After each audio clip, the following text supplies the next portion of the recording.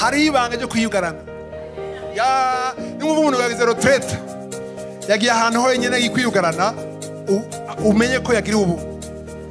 Hari ibanga ryo kwiyugarana.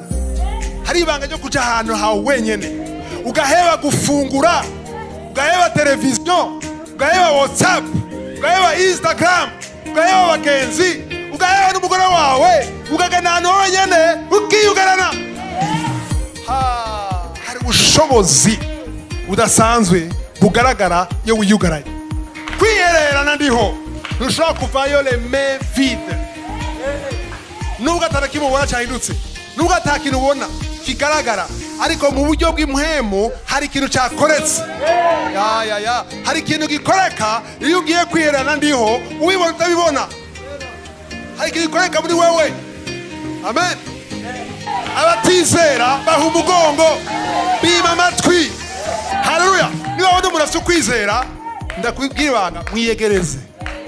Ko niba mwiyegereza azokwandukiza ukwizera. Azokwereka ko ibidashoboka bishobokera abizera. Azokwereka ko imana itegeka bikaba. Avuga rimwe gusa bikaba. Ye! Ye! Ayaya ukwizera kurandukira. Bwana asifiwe! Ya naronse inkomezi mu gitondo sinarinse inkomezi nkishika ariko nazironse ndiko ndigisha Na- naronse inkomezi ndiko ndigisha rero mwebwe muje imodoka yamaze kuba rode mwitegere mwitegure kwakira ivuye ku mana rero ya dusome ijambo ry'imana matayo gatandatu umurongo wa gatandatu. Matiyo 6 verset 6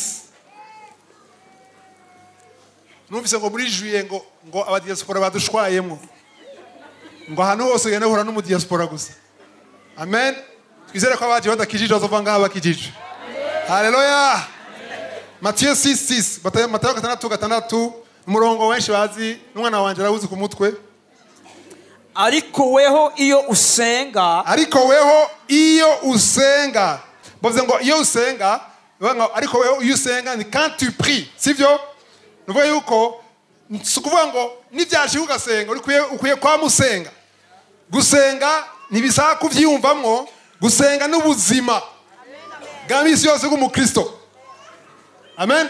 Kujya uhema ukwiye gusenga iminsi yose. Kimwe mu bwize devise akanguka? Usenge kuwa mbere gusa. Kuwa kabiri gusa. Usenge iminsi yose. Tesalonika wa mbere gatanu cumi n'indwi un thessaloniciens 5 17 priez sans cesse. Musenge udasiba. Imana ishimwe. Ngo iyo usenga rero eh, mu kirundi uje mu cyumba cy'inzu yawe. Umviriza iyo usenga uje haruguru mu nzu yawe cyangwa mu cyumba cy'inzu yawe. Ahiherereye tuzazira comparaison mu gifaransa ngo quand tu pries entre dans ta chambre. Yesu ashimwe iyo usenga ni ukuvuga yuko igihe ushaka gusenga ushaka ngendana n'imana cyangwa gusakira imana ugende mu cyumba vuga ati mu cyumba kera nk'ikizwa nuvuze mu cyumba nari nzi ko utaza kurondera chambre usengamo nsanga rero icyumba uko yatubwira si impome zine. Kuko no munsi y'igiti urasenga no munsi y'ikiraro wosenga mu muduga wosenga ariko mu cyumba ni ahantu wiherereye wenyine tugaturabe akamaro ko gusenga ahantu wiherereye inyigisho yise kwihererana ndiho Alléluia, l'intimité avec je suis. Kwiherera na ndiho niyo titre ino nyigisho. Piyo komeze rero ryo murongo wa gatandatu, murongo ukomeye cyane. ariko weho iyo usenga uje mu cyumba cy'inzu yawe ahiherereye Ahiherereye wugare urugi ata wugare urugi. Kwe kugare urugi. Kwe kugare urugi. Kugira ntusamare ntihagire ikintu cinjira kigusamaza. Amen. Rero bamaze kugara urugi, bivuga yuko urasenga, uragenda uriherera ku buryo atamuntu agusamaza. Gusenga bisaba ko wugara inzugi zose mu mutwe wawe. Amen. Abantu barabasenga bafise telefone, WhatsApp, bagasenga igasona, ukabanza kwishura. Abantu bahora bayishura ngo, "Bwana, ntusuye kumpamagara ndi mu masengesho." Eh, wayiravye kubera iki? Kwe kwiraba. Muri ko nasenga, ni nk'umuntu wobwira, ni nk'umuntu wokwandikira, akakubwira ngo ndasinziriye kandi wishuye. usinziye gute kandi wishyuye rero gusenga ni ukuzimya telefone. Ni ugukuramo konekisiyo mani ishimwe. Gusenga ni ugukupa ikintu cyose gishobora gutuma gitwara atansiyo yawe. Iyo uriko urasenga ushyire kuri atansiyo yawe ku mana muri uwo mwanya umutima wawe impwemu yawe kabana nawe sibyo? Haleluya rero ngo amajambo avuze arakomeye ngo niwasenga ngo ukinga umujya eh, urugi ugana urugi hanyuma usenge so aba mu mpisho ata so wawe he? Bashasha so wawe si papa wakubyara sibyo so wawe mu ijuru ton père celeste ngo aba he? Abantu benshi bazi ko imana iba mu ijuru turazi ko iba mu ijuru sibyo kandi turazi ko imana ari shama iri hose imana iri ngaha. Imana iri hose mu nama irahari mu isoko irahari muri shop irahari iri hose mu byatsi irahari mu ishyamba irahari. Ariko hageze gusenga iba hehe? Vuga cyane hehe? Dans le secret mu mpisho haleluya abantu bafite amasengesho abantu bafite imitwaro abantu bashaka kugenda imigen- imigenderanire n'imana nta handi aderese y'imana ni mu mpisho ni byiza gusengana n'abandi tuza kwibona. Gusengana n'abandi muri mu bushobozi ariko ukwiye kurondera umwanya wawe mu mpisho na ndiho. Hariho ubushobozi budasanzwe mu kwiherera hamwe na ndiho. Ibyo dushaka kubona. Usenge so wawe aba hehe?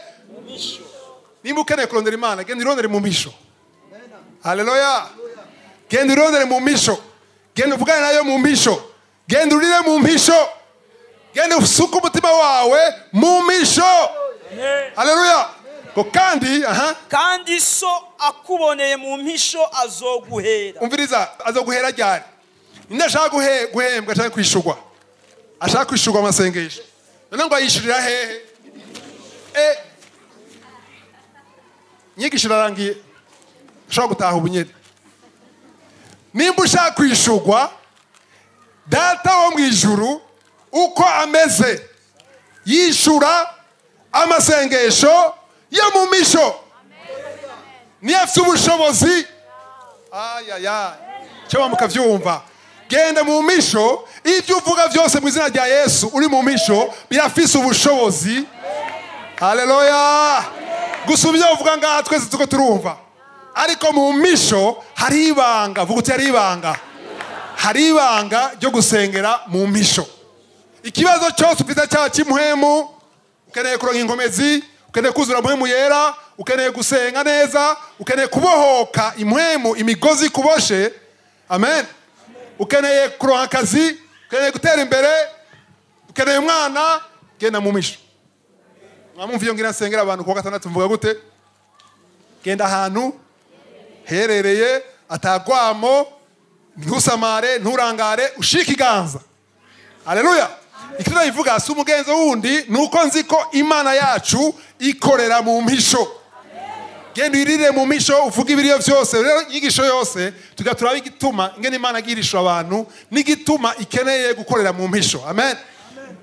Dusimbire ku murongo wa kabiri asome aho nyine matayo gatandatu umurongo wa kabiri.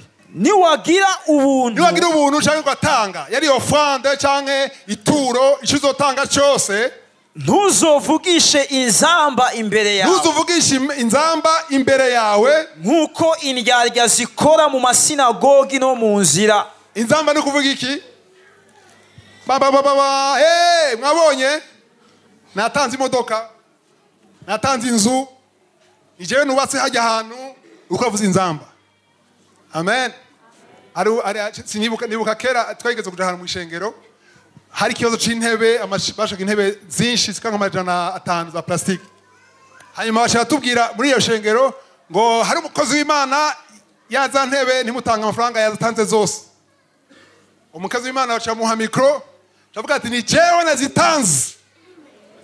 Mvuye muri kenya nawe nyine natanze ibi- ibi- ibi- les instruments zo kuvuza umuziki amen. Aravuga amen baravuga amen. Je sinishuye amen? Ndavuga ni iyo nzamba ntituyikeneye kuko dukeneye ibitangwa mu misho kuko nibyo ndiho yemera. Hanyuma turavuga ati none ko mutampa amazi yo kunywa. Nimwateba nda- ndatuma amazi ndabagarurire mwese amazi. Izo nizo njyajya yesu ko aravuga ngaho zikora amasinagogi hehe ngo no mu nzira ngo bashimwe n'abantu. Ngo bashimwe n'abantu. Ababwira ukuri baramaze guhabwa impera zabo. Bizabwire ikintu cyose uzokora ukoreye ndiho ntuzorondere gushimwa n'abantu. Ni gute injyajya zirondera gushimwa n'abantu? Ashaka yo ariyaranja byose bikamenywa ibyo yakoze. Ibyo watanze ushaka ko abantu babimenya ibyo wakoze ushaka kubishyira kuri sitati bose babibone. Ushaka kubishyira kuri rezo sosiyo babibone. Niba babibona bazogukomera amashyi bazokwemera.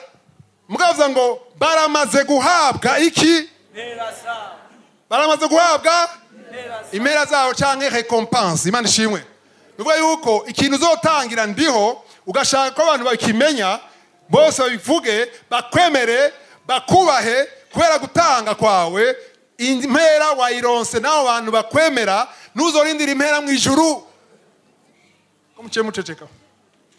Muravuze inzamba muravuze inzamba? Abavuze inzamba muce muzibika mu kabati nimwataha sibyo? Nimuze kuvuza inzamba kuko imana yacu ishaka abakorera mu ibanga.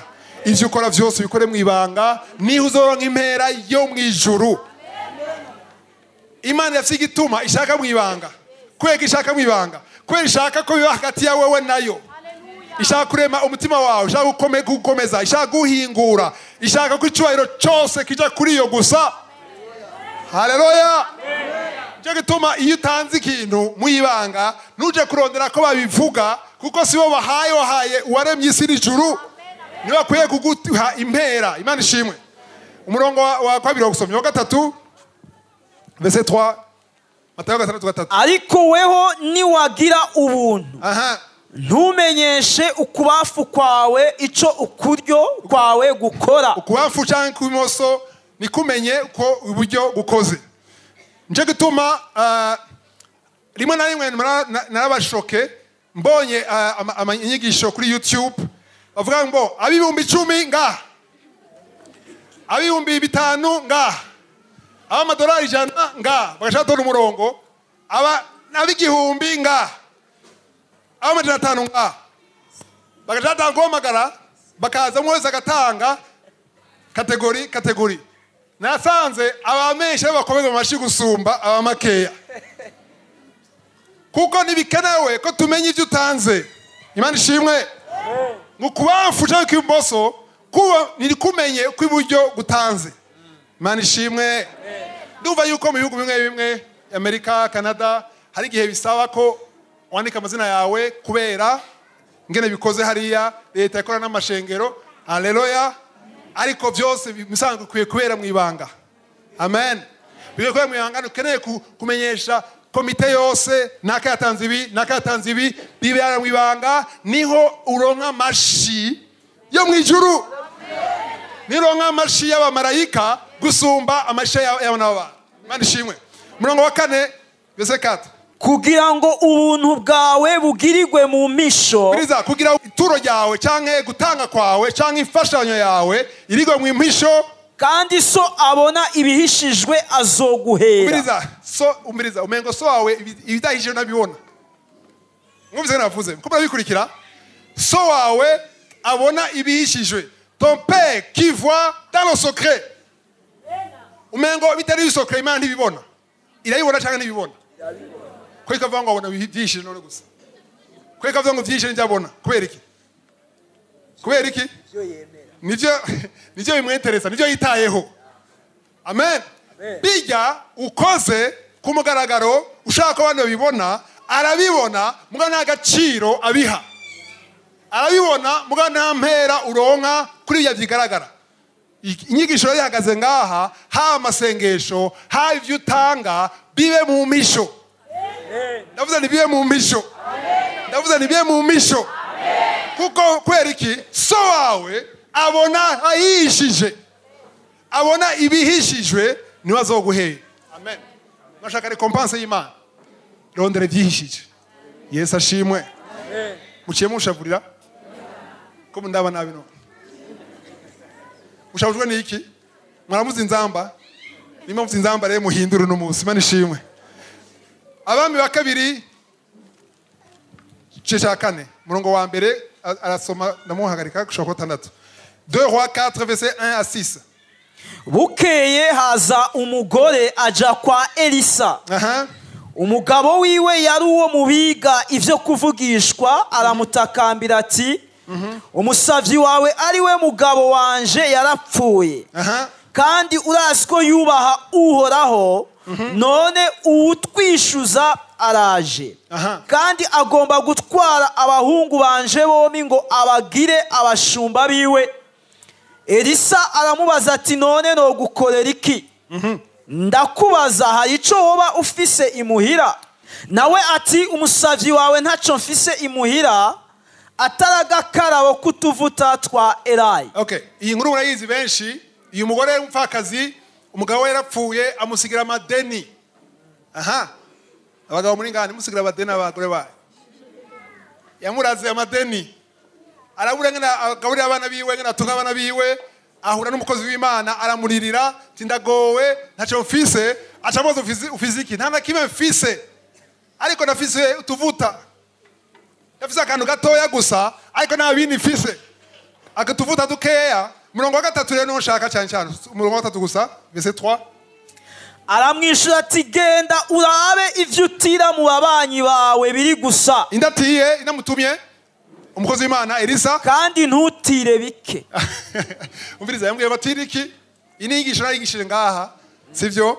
Ariko siyo nshaka kwigisha. Mugabo birajyanye ibyo two turiga uno munsi. Yabwiye genda umviriza genda usabe amabido mfate bido niyo twumva mu burundi twumva bidon. Genda urabe amabidon agaragara. Ninde muntu wokwi- wokwima bidon iri vide ntizi icupa ryawe ndari gusubiza uri mwima. Sivyo? Ibido igaragara ushobora kuyi ubundi kumara iki igaragara. Ibido wimana ni bido nimwe mu mavuta ariko igaragara genda usabe iyo agaragara kandi ngo usabe isari zikeya. Ikibazo ni uko uyu mugore ntiyatahuye igituma mutumye amen. Ngo ntusabe handitse genda urabe ibyo utira mu babanyi bawe biri gusa kandi ntutire bike. Haleluya. Vuga uti ntutire bike. Umugisha w'imana ujana n'ibyo wateze. Uteze bibiri ha- imana izokuzuza bibiri. Uteze bitanu izokuzuza bitanu. Haleluya. Inkuru murayizi? Murongo wa kane? Wa kane wawuhejeje. Uheze winjire mu nzu. Uheze winjire mu nzu. Wiyugarane mwe n'abana bawe. Eh, birakomeye kweka iyugarana kweka iyugarana kubera iki? Kubera? Ajya yiherereye. Imana ibahezage mwakurikiye rero sibyo? Umviriza kugira igitangaza kibe. Hereruya imana yacu wo mu ijuru so wo mu ijuru akorera hehe ahiherereye mu misho igitangaza kugira kize gukoreka banza utire. Byinshi bishoboka bigaragara. Niba bishyira ngaho kugira igitangaza kibe. Banza wugara umuryango. Ayaya ababanyi. Ababanyi ntibabone ibyo muza gukora. Kubera ababanyi benshi ni abancredule ntibizera. Ahubwo ugiye gukora n'igicucu arasara mu mutwe. Gute? Ashobora kuyugarana n'amabidoni vide. Sivyo rero kugira abo bantu aba- aba- abantu bagwanye umuga- umugambi w'imana abantu bakekeranya byiza no kugara umuryango. Kuko nu- nutugara umuryango barakwandukiza. Maze ko incredulité yandukira kutizera kurandukira. Nwaguma n'abantu batizera. Mu gitondo twari twiga mu gitondo yuko hari abantu imana ikata mu buzima bwawe ikabakurayo. Hari abantu batagira ukwizera bagumanye nawe nubaha amatwi. Dawudi dawudi agiye kugaburira abakuru wiwe. Agwanye na goliyati yasanze bakuru wiwe bari muri esumeo serivisi militaire obligatoire. Bariko baragwana ashitse abazana ibyo kurya asanga bakora inyegeza amahema abagabo b'ivyanwa binyegeza amahema kubera goliyati avuze ati nimuzane umuntu umwe. Araraba bya bijenero vyose yarayemera. Vyose mu mahema dawudi ari agahungu gatoya arabaza ati none kiye kigabo wocica wocica yoronka iki eliyabu vuga uti eliyabu eliyabu ni umuntu yiyemera niwe mukuru. Niwe imfura n'igifuwa agahungu karaho ubwibone bwawe turabuzi jessica. Urashaka wewe genda kuragira nta kindi ushobora kuragira bibiri ivuga ngo dawudi yamuhaye umugongo. Yamuhaye umugongo. Abatizera baha umugongo. Bima amatwi.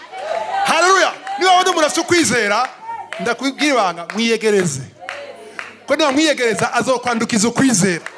Azokwereka ko ibidashoboka bishobokera abizera. Azokwereka ko imana itegeka bikaba. Avuga rimwe gusa bikaba. Ye ye ayaya ukwizera kurandukira. Dawudi akebaza abandi ngo mbwira sha uwo cyica ayaya barabwira ati uwo cica haleluya azoronka umukobwa w'umwami. Arabwira ati rero nimba ari ibyo ntwara ku mwami. Bashikira umwami aramubwira ati "Eh, hari agahungu kazakoranye ko mugabo nta kundi ko twaheraniwe twananiwe. Reka tuve kuhubwira ivyo kavuze. Kavuze iki? Kavuze ngo uko kwica goriyati sawuli araraba ati n'ubundi turapfa? Niba ari- umuntu akirota ko yokwica goriyati kanzanire barakazana. Karashika akungere k'intama. Kama- kamera gute? Maze kuduga ruguru. Igipira kirekire indani nta kiriyo karashika. Kashitse. Uri wewe? wowe uri ura- urabyizera Ati, mwami mwami mwami wa isirayeli mwami wa isirayeli reka ndagucira agace reka ndakubarire. Urafise ingabo nivyo. Urafise ibigwanisho nivyo. Ariko ndashaka unyumvirize. Vuga uti nyumviriza ya ya ya jewe aka gahungu ubona iyo haje intambwe iyo haje intare ijya gutera intama za data ata nkota mfise. Ndayica n'iminwe yanje. Ina- intare ifise 250 kilos s'il vous ndayica Sa- sawuli niko nongeramo ibitanditse sawuli aravuga ati nivyo barayishe narayishe nivyo nivyo mpamagarira babanga mpamagarira mpamagarira mpamagarira urumva rero uracyari muto goriyati yabaye forume kuva akiri umwana. Wewe uzi kuragira nakubwiye ko nazije ayikuye mu kanwa k'intambwe In- intamba za sitata nta n'imwe yapfuye. Aravuga ati rero araraba na generale wundi generale ya droite koroneri mwe ah, byabananiye mwari munsi y'ihema ntimusore kuvuga mwebwe rero. Ntibyanditse muri bibiri. Niko nimajina ibyabaye. Ntimusore kuvuga ngo ni generale icara hajya generale ni uyu adatinya. Uyu ni we generale haleluya zana! Zana ibigwanisho. Zana inkota. Zana ingabo cyangwa inkizo. Dawidi kubera kubaha umwami arabyemera baramwambika ikirato. Inkota inkinzo biranga ko atambuka kuko kiramuroka. Yari umwana muto ntiyari bwagirishije kwambara ibyo bihuzu biba bikoroka duza agenda. Mwami wa isirayeli ndabihevye ndabikuye. Jewe intambwe intare sinayishe n'inkota. Ya mana yabanye nanje.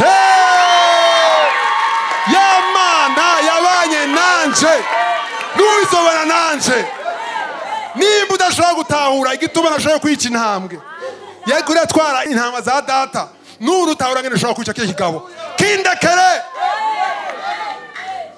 icyo birivuga ngo ntivuga ngo yamuravye vuga ngo yakaravye ngo birivuga ngo cyo ngo genda uwarabane nawe. Haleluya sije kwigisha goliyati na dawudi ahubwo ndashaka kubereka yuko kwizera gutuma ukora ibidashoboka. Ibyananiranye haleluya! Icyo mwotahura muri iyi nkuru na dawudi mvuze ni uko formation yayironkeye hehe! Hehe! Igihe yisha intare ntawabona. Ariko igihe yisha goriyati yarabaye umusupesita abagore bose n'abakobwa muri israel baciye bakereya indirimbo shasha. Haleluya. Nuvuga yuko yaciye aba populaire yaciye amenyekana kubera yabikoze ku mugaragaro ariko ibyo abantu batazi formasiyo yabaye mu ibanga. Imana izoguforoma mu ibanga. Imana izoguhingura mu ibanga. Imana izoguhindura mu ibanga. Abantu babona produit fini. Bakakwifuza bagashaka kumera nkawe ariko ntibazi imana yakoreye. Abantu bose muzi abakozi b'imana b'ukuri hari abafo ab'ukuri imana ikoresha yabahaye foromasiyo ahiherereye. Mu ibanga. Atanu mwabona atanu mwakomera amashyi. Atanu mwagira like. Atanu mwagira komate atanu mwaguhezagira atanu mwakuzi ariko bamaze kuronka ni igipapuro diplome yo mu ibanga haleluya diplome mu ibanga ni iby'agaciro gusumba diplome yo ku isi haleluya kuko iyo ku isi urashobora kuyigira ugakoteseka uyifise ariko iyo mu ijuru wayiguhaye aramakinga shuwa arashaka vy'ukuri ko uyigaragaza ugakora ibyo yakwigishije amen. Dusuye kuri ya nkuru rero. Nkagiwe na goliyati uwundi munsi mwaba mwumvise ko ari mu ibanga siko? Byabereye mu ibanga umurongo wa kane rero uhe eh, yawusomye wa kane? Wa kane wawusomye Ahe, banza uheze wa kane. Wiyugarane mwe n'abana bawe. Umviriza wiyugarane mwe n'abana bawe. Ayo mavuta uyasuke muri ivyo bintu vyose. Aha. Mwe n'abana bawe aha rero hariho ikindi. Hariho igihe wiyugana wenyene n'igihe wiyugarana n'abana bawe cyangwa n'abo usangiye ukwizera abantu bafite ibyuma by'amasengesho bari ngaha cyangwa kuri youtube cyangwa kuri radiyo urafuye urafata n'abantu mudasangiye ukwizera. Haleluya kuko mudasangiye ukwizera arakuzibira. Umwanya ko murasenga muri kumwe yesu avuze ngo babiri cyangwa batatu nibaja hamwe. Nzoba jewe yesu nzoba ndi hagati yabo kandi data wo mu ijuru cyo muzomusaba cyose. Bazokironka sibyo? Rero mwabwiye hamwe mucika umuntu umwe mu buryo bw'imuhembe rero ni byiza ko mu- muba muri kumwe n'abantu musangiye ukwizera. Aha bandanya? Ikintu cyose uko cyuzuye urabe aho ugitereka. Nsigure icyo kintu cyose twashyize gute twebwe? Bido nimuje kurondera bido muri bible. Ariko dufashe ko ari bido sibyo uko bido yose yuzuye ubwire gute? Uraba uyitereka hanyuma nayo niyumvira ni none niba ishobora gukora igitangaza kwereka abahungu bari bakenewe kwereka kubyikora wenyine ari gutereka bido n'indato yiterura nawe umukecuru yiterura bido igaragara ariko imana yashaka iki? Yashaka abasore abasore bafite inguvu zo guterura bido bakayitera hajya sibyo amen. Hanyuma ngo eh, bandanya? Okay cyangwa bivuze ko yakinze umuryango umurongo wa kane. Mwumvise yari ngo wiyugarane ugenda hihishije mwenyene n'abahungu bawe umurongo wa gatanu nuko avuye iyo ari abigenza kuno. Ariyugarana n'abana biwe. Vuga utariyugarana. Bisubiremo ariyugarana. Hari ibanga ryo kwiyugarana. Ya nimwumva umuntu yagize retraite yagiye ahantu honyine agiye kwiyugarana. U- umenye ko yagiriwe ubu hari ibanga ryo kwiyugarana. Hari ibanga ryo kuja ahantu hawe wenyene. Ugaheba gufungura ugaheba televiziyo ugaheba whatsapp ugaheba instagram ugaheba abagenzi ugaheba n'umugore wawe ukagana ahantu wenyene ukiyugarana. Ha, hari ubushobozi budasanzwe bugaragara iyo wiyugaranye ariyugarana abo ni abana biwe hanyuma bamuhereza ivyo bintu nawe abisukamwo. Aha baramuhereza nawe baramusukamwo gatandatu nuko bimaze kuzura bimaze kuzura abarira umwana ati mpa ikindi. aha aramwishyura ati nta kindi gisigaye. ehe. Ako kanya amavuta aca areka kuza. Oh. Birababaje? Birababaje? Birababaje kandi yaronse amavuta. Akwiye kuriha ideni ayo mavuta yaciye ada- ayadandaza asharonka amafaranga kuriha ideni ariko ni kubera ko ibyahagaze. Kubera ko ibyahagaze inyigisho nigishije ngaha. Kubera iki kubera ata bido igaragara. Nta bido ateze. Mani majambo mu buryo bw'imuhemu. Hari ibintu bitagushikira kuko udateze. Ntabyo witeze. Ntabyo wizera. Haleluya ariko mu mutwe wawe mu muhemu yawe mu mushaha wawe niyo witeze hariho bido igaragara iyo rero niyo ndiho azosukamwo. Ayaya imana ishimwe. Sinyarutse twaguma kuri iyo nkuru gusa. Twahejeje gatandatu wahejeje Ese soma gatandatu. Nuko bimaze kuzura abarira umwana ati mpa ikindi. Ikindi? Aramwishyura ati nta kindi gisigaye. Aha. Ako kanya amavuta acareka kuza. Muratse ko ndumwigisha ndakunda kuja mu nkuru nka- nkaja nk- nkayigira nka nka filime nkavyinjiramwo. Mbega vy- ibi- tubabwira si si ubugani si parabole.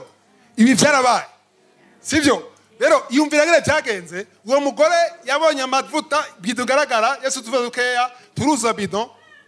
Hari abo ya kabiri ba- tumaze kubategura amabido mirongo itatu yose aruzura. Kandi yuzuye gute? Basuka. Inyigisho nayigishije ngaha nayigishije yuko ukwizera kugoye kuri bido ya mbere gusa. Iya kabiri ntikugoye iya mbere niko kugoye kuko bisaba kuba umusazi mu bwenge bw'umwana w'umuntu. Iyo ufata bido igaragara undi agiye gusuka. Eh? Agira imana ko yugaye umuryango. Kuko ababanyi bavuga ati genda murabe korojanti muhamagare abantu baza kumufata. Kuko ntibishobora no gusuka. Ariko abonye ya mbere yuzuye. Hereruya acavuga ati hey, birashoboka. Peti igo ya kabiri hey! bacatangura turibaza ko ya cumi na gatanu bari mu makorasi. Hereruya bari baririmba uri mana mana. Uri mana mana. Uri mana mana. Uri mana nyamana peti oh biraheze uko bisa kose uri imana mana. Nivyo hagarara ntuhagarariye kuririmba. Haleluya. Ushime ku vyo yagukoreye. Uko bimeze kose niyo agira amabido igihumbi zari kuzura bigahagarara. Hari igihe bihagarara mbwa bindi biheze mu ijuru nta ntibihera mu ijuru. Igituma bigarukira ngaho ni ho ugeza kwakira ni ho ugeza gutega ariko mu ijuru ntibihera. Amen. Mwageze kumva intahe y'umuntu yasamye amaze imyaka cumi n'icyenda ngo yabonye abana bakoroka bava mu ijuru basama gwiwe n'ubu akorakoroka abatetse nibo bazokwakira haleluya. Wow. Je muri luka umunani mirongo ine n'icyenda likwiti 8 kuva kuri 49 55 akivuga haza umuntu avuye kwa wa mukuru w'isinagoga ati Wa- yesu akivuga mwana wawe aracikanye. Ureke kugora umwigisha undi muntu yaje kuri yesu yifuza ko yesu yamufasha akaba igitangaza umwana we agakira. Sibyo ubona amajambo yabaye nko muri koma hama cyaza aramubwira ati hey, uko yagoye yesu mugorera ubusa kuko umwana yapfuye kweki bavuga gucyonye bari bazi yesu ntibwabone yesu azura razaro ntibwabone yesu azura abapfuye. Babonye yesu yugurura amaso. Babonye yesu akiza abaparalitike sibyo bavuga ati rero reka kumugora. Abo nibo bantu ukwiye kugarana umuryango. Udakenera ko binjira mu mwiherero wawe. Haleluya. Abo barakudekuraje ati reka gusenga koresha ubwenge ka meme. Warize iyo umuntu atubwira ati warize! Eh, ufite amashure yakoresha koresha ubwenge. Yesu avuga yabandanya cyamushura gute?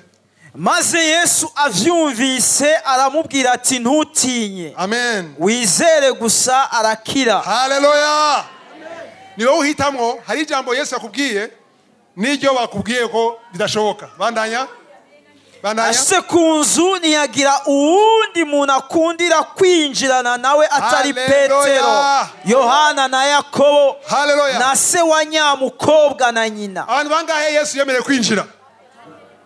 Bangahe? Hari fule yasanze yasanze bariko bara- bara- baramushinyagurira ba- ba- bamwarira bari mu kiriyo sivyo? Yesu araraba aba- aba bantu ati aba bantu nibinjira. Barazibira igitangaza sinabakeneye yesu yaciye akinga umuryango. Avuga ati hemerewe abantu batanu gusa.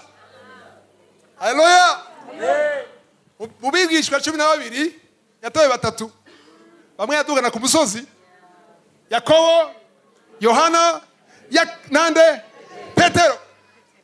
Nubwo nawe ntaba ndasoma umurongo ndazi ko toma adashobora kubamwo. Bishoboka. Toma atora batatu gusa kuko azi ko abo bantu babonye ibintu byinshi baronse guhishirwa kwinshi baganiriye ibintu byinshi barabonye mose. Haruya barabonye mose. Agaragara gutya. Ya, na eliya. Abantu barabonye amabanga. Abantu barabonye bido ya mbere yuzura. Nibo nkeneye. Bariya bandi out kweki yatoye se na nyina? Ko se na nyina barameze nka sawuri waburaniwe. Umwana wawe waburaniwe. Ikintu cyose. Hari abambwiye ngo na yo ari umupfumu. Ikintu cyose cyo kubwira ko kigarura umwana wawe. Uracyizera ugikurikira avuga ati aba nibaza kunzibira. Nta majambo yo kumbwira ngo ibiki.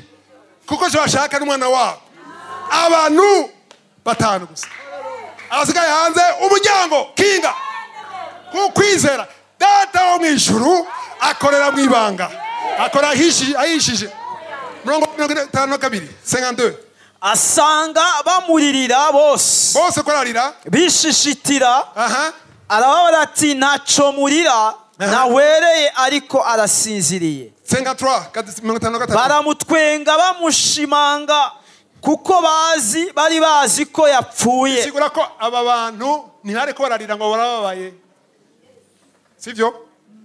Abantu abantu benshi baramukiriyo cyane cyane mu bihugu byinshi muri afurika yo west barashobora kurira atako bararira abantu bose baza mu kiriyo si ko bababaye. Yumvire bakorarira yesu ababwiye yuko asinziriye agira muzure bashaka mutwenga wumva gute? None aya marira ya- yari y'ukuri. Esike barababaye mirongo itanu na kane sengani kati amufata ukuboko avuga n'ijwi rirenga mukobwa vyuka. Ubuzima bwiwe buragaruka. Aca ava hasi uwo mwanya yesu abari- ababarira ngo bamugaburire. Ya. Abavyeyi biwe baratangara ariko arabihanikiriza. Ngo ntihagire umuntu n'umwe babwira ibibaye. Ababyeyi be baratangaye yakobo petero yohana ntibatangaye nawe utawubyemera ko bishoboka. Ceceka. Icyiza nuko batangaye kumera ntibabyemera ariko muri bavuga ati sinzi hamwe byoshoboka. Sibyo? Hari igihe uzibira itangaza cyawe kubera amajambo uvuga bariya abantu baravuga arabugarana. Amen. Baratangaye igitangaza kirakoreka. Mirongo itanu senga barabivuga ko igitangaza cyabaye katuje mu yindi nkuru muri eh, byakoze n'intumwa igice cy'icenda mirongo itatu na gatandatu ijana mirongo ine. Acte acte 9 36 a 40 kandi iyo pa hari umwigishwa yitwa tabita tabita. risobanurwa ngo doruka doruka uwo mugore yari n'ibikorwa byiza byinshi n'ubuntu bwinshi yagira. Aha muri iyo minsi aragwara arapfa. Bamaze kuhagira ikiziga bagishyira mu cyumba cyo hejuru mu igorofa.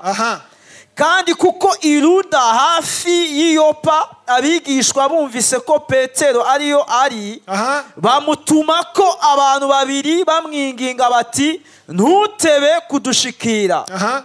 Petero arahaguruka ajyana nabo ashitseyo bamujyana muri ya gorofa. Abapfakazi bose bahagara- bahagarara iruhande yiwe barira. Berekana amakanzu n'imitama na doruka yajishe akiri kumwe. Akiri muri bo. Eh, batahura ko doroka yapfuye? Tabita yari yapfuye sivyo? Petero arabataramura bose. Aha. Umviriza petero agira iki? Yavyigiye he? Yesu yataramaye abandi petero yatahuye yuko e cya gitangaza cya mukobwa cyo kuzuka. He yesu yarabataramuye bose. Ayaya nimuri kubatahura petero ase abikura. Petero abonye bido ya mbere yuzura. Avuga ati ati sitarateji nayibonye imana yacu ikorera mu ibanga. Ikorera ahantu hiherereye aca bataramura bose hanyuma agira gute? Arabataramura bose arapfukama arasenga amen.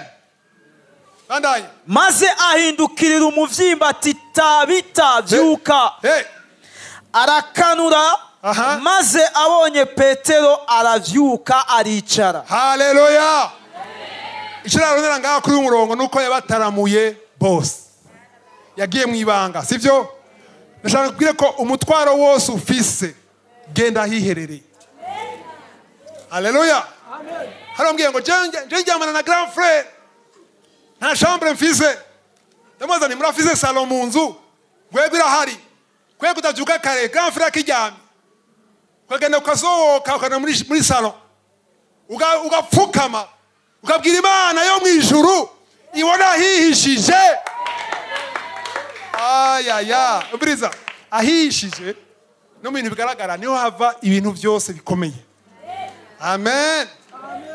Ubiriza umugabo n'umugore bari mariye barafise chambre yabo. Icyumba baryamamo sivyo? Ibintu bakorera muri icyo cyumba nibo bonyine babiri babizi. Ariko ari ibintu bakorerayo hanyuma hakaba ubundi buzima bw'umuntu wa gatatu. Ariko byabereye he ahishije imana ibanza kuraba ibikorekera ahishije conception. Gusama.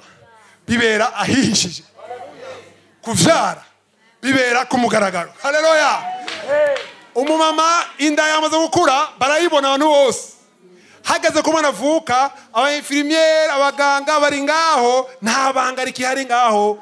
Ariko igihe byakoreka mwarahihishije muriko murasenga. Haleluya. Hariho operasiyo ihaba hagati yawe n'imana ahishije aho batabona. Ariko umugisha uzogaragara n'abari kure bawubone hageze guhembwa hageze kwishurwa ni ku mugaragaro. Conception ni mu ibanga. No mu- mpemu nuko bimeze. Conception. Conception ni ukuvuga gute? Gusama canke ego gusama ni mu ibanga kubyara umwana aja ahagaragara ya, murongo wa mbere twasoma matatu gatandatu gatandatu. Niwasenga ugende imana ibona hahishije izoguheza. Izoguhera ku mugaragaro. Imana ishimwe. Twari tugeze pe- ku murongo uyuwe. Twahejeje mariko cye cya mbere. Mirongo bitatu na gatanu ijana bitatu n'indwi. Marke 1 35 37 mu ijoro rishira ubuca aha. Aravyuka arasohoka aja mu gahinga. Ndabyuka Mhm, arabyuka aja mu gahinga asengerayo. Ari umuntu yageze kumbarira ngo kubera ko ubyuka yijoro gusenga? Namubwira ni kubera umwanya wanje ko yakora.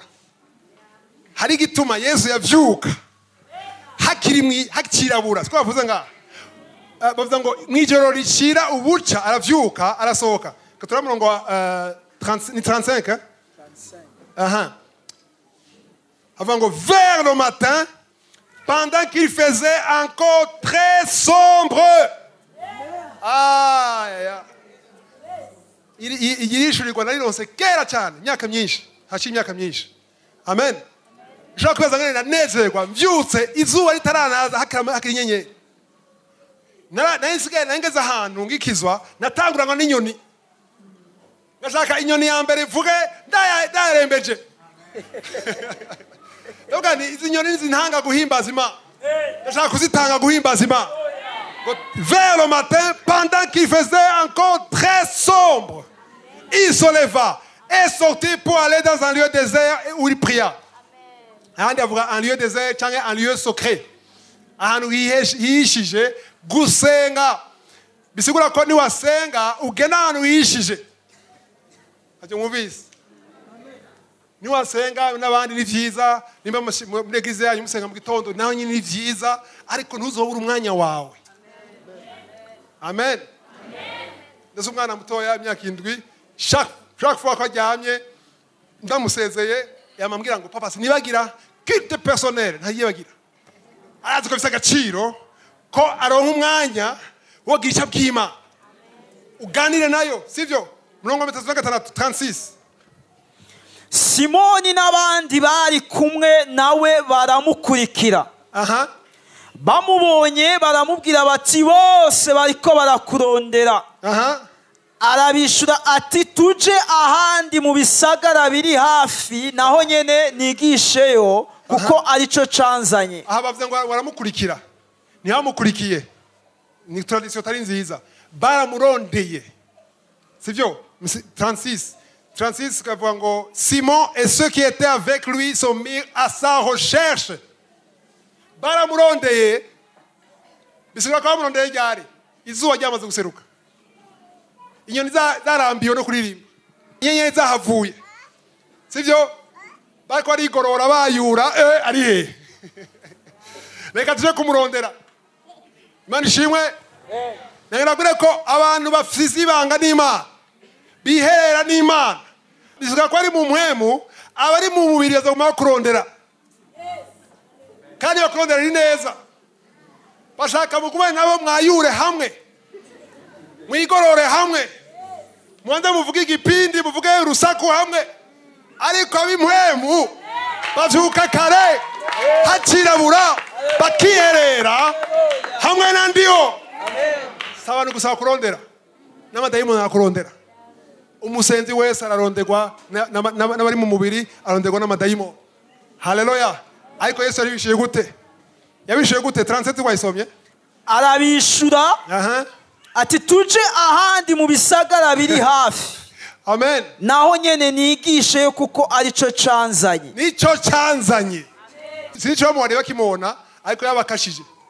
Avuga ati si ibyo reka tugende. Imana ishimwe abatari babizi niko hari amadayimoni aba bagabo yanka kuvayo kandi yabahaye ubushobozi yesu. Bigasaba ko yesu ashika kugira amadayimoni aveyo. Kubera yesu yazinduka ku musozi nabo baguma basinziriye gusa bagona. Haleluya! Nivyo barakubwira ngo ni vyiza ryaba amasaha umunani amasaha y'icenda sivyo? Ngo uzocuramba imyaka myinshi. Mugabo nta garanti bavuga yuko uzocuja mu ijuru hitamwo rero. Amen. Fumura kuramba ku isi ariko uje mu ijuru. Rondera umwanya wawe nandiho mu gitondo iminsi yose. Vyuka bakiryamye ushobora kwibaza jewe iyo mvise mu gitondo atamuduga uwurengana. Atanyoni ivuga.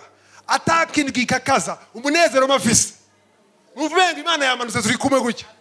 Biraryoshe kwiherera na ndiho haleluya satani ashaka ko wiherana na ndiho ntabishaka kuko arazi yuko akorera mu ibanga. Aravuga ati "Eh, yagiye mu ibanga ndagomba bikora kuko abikora mu ibanga. Genda mu ibanga vuga ibibazo byawe vuga ingorane zawe vuga imitwaro yawe vuga indwara yawe vuga ibikuremereye bivuge hariya mu ibanga. Niho hari inyishu. Amen. Luka mirongo ibiri na kabiri luke 22 39 à 41 arasohoka aja ku musozi wa elayono nk'uko yamenyereye. Haleluya ubu ni yesu nyene. Mwumvise navuze? Subiramwo arasohoka aja ku musozi wa elayono nk'uko yabimenyereye. Aha. Abigishwa biwe nabo baramukurikira. Aha. Ashitse aho hantu arababarira ati nimusenge kugira ngo nimuje mu mosha mabi.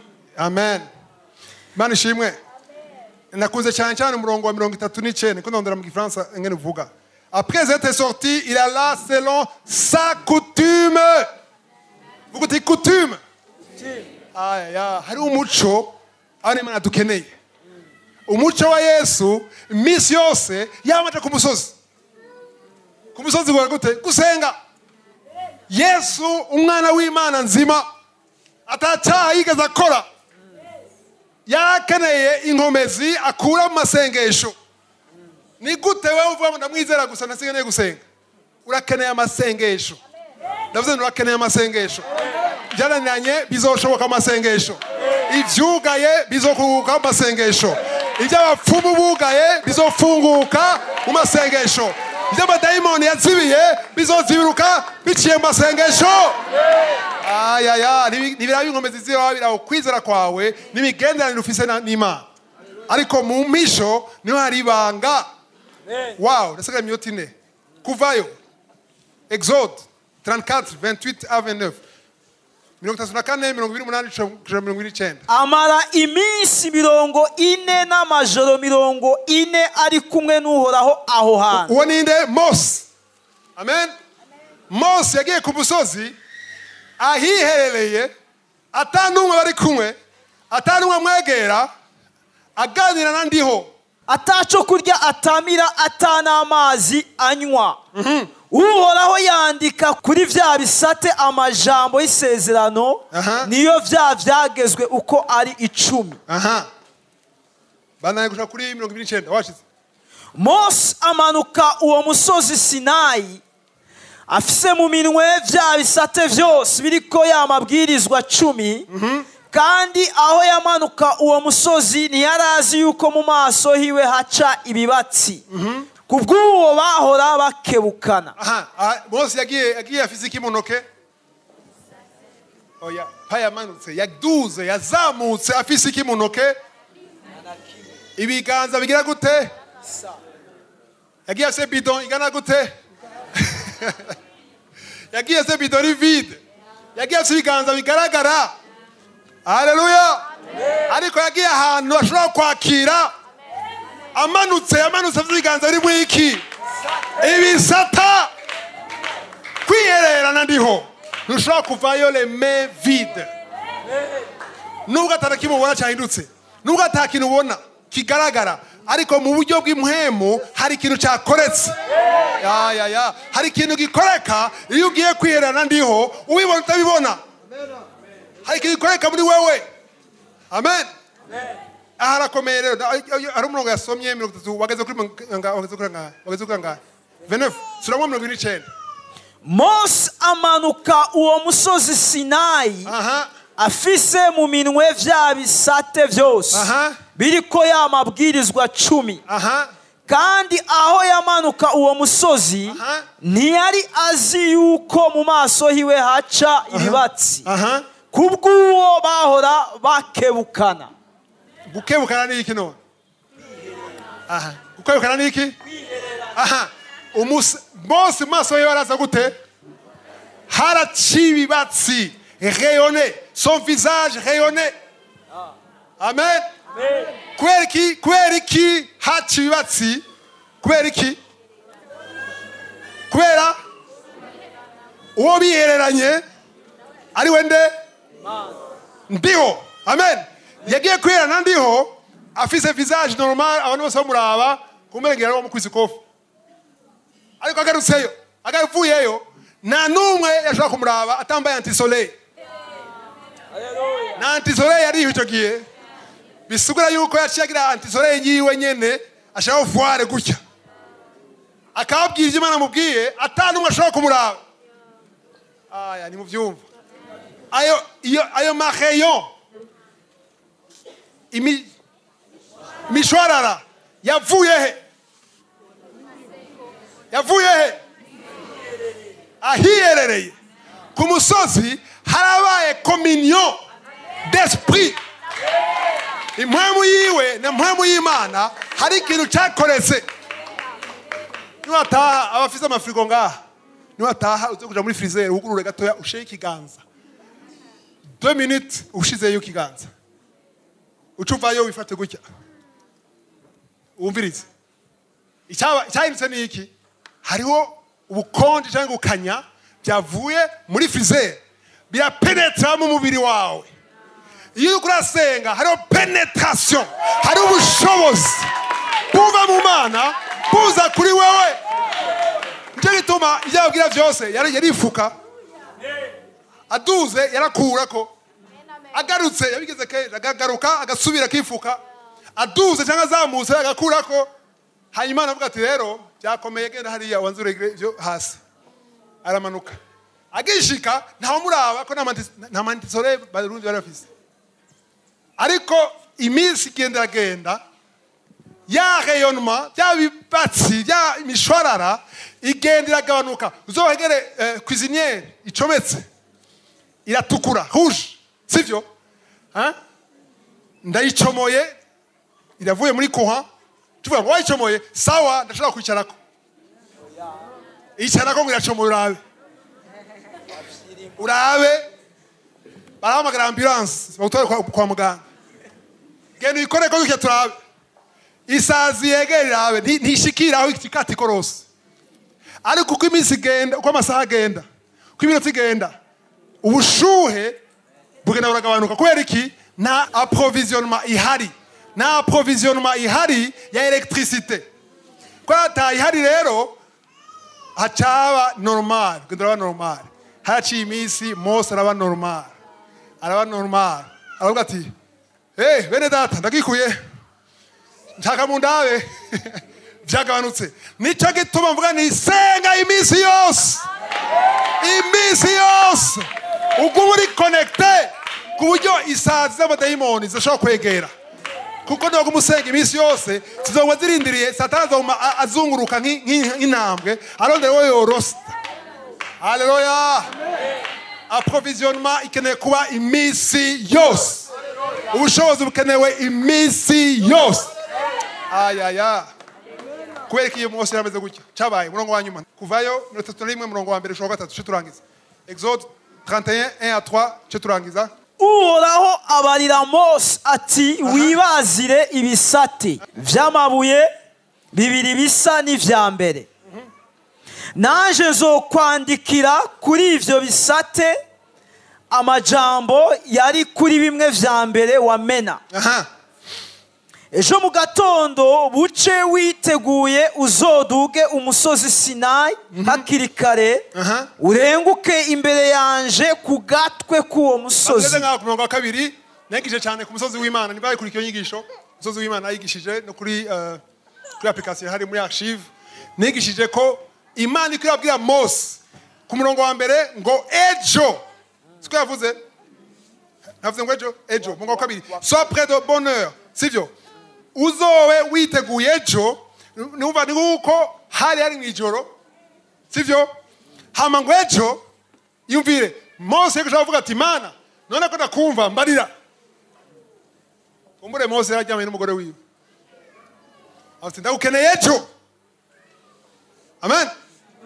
Hari ibintu shaka kukubwira ariko zishobora kubikubwira ubu uri mu gitanda uri kumwe n'umuryango uri kumwe n'abana uri kumwe n'abakozi. Oya saba ukeneye ngaho hari ahantu agukeneye hiherereye jewe na wewe gusa. Gusa. Ugende. Ayaya witeguye. Uzi uduga umusozi sinayi mu gatondo. Uti mu gatondo. Uzi utanga umunsi mu gatondo usenga urenguke imbere yanjye ko musi atari ko aramwumva none sindi imbere yawe. Ah, genda hariho hari ibanga ryo kuba hariya. Ku gatwe osome hejuru. Mirongo gatatu vese twa n'uwa nyuma. Ntihazogire umuntu mudugana. Nta n'umwe nkeneye canye ngo hagire umuntu n'umwe azoboneka kuri uwo musozi wose. Nkeneye wowe gusa.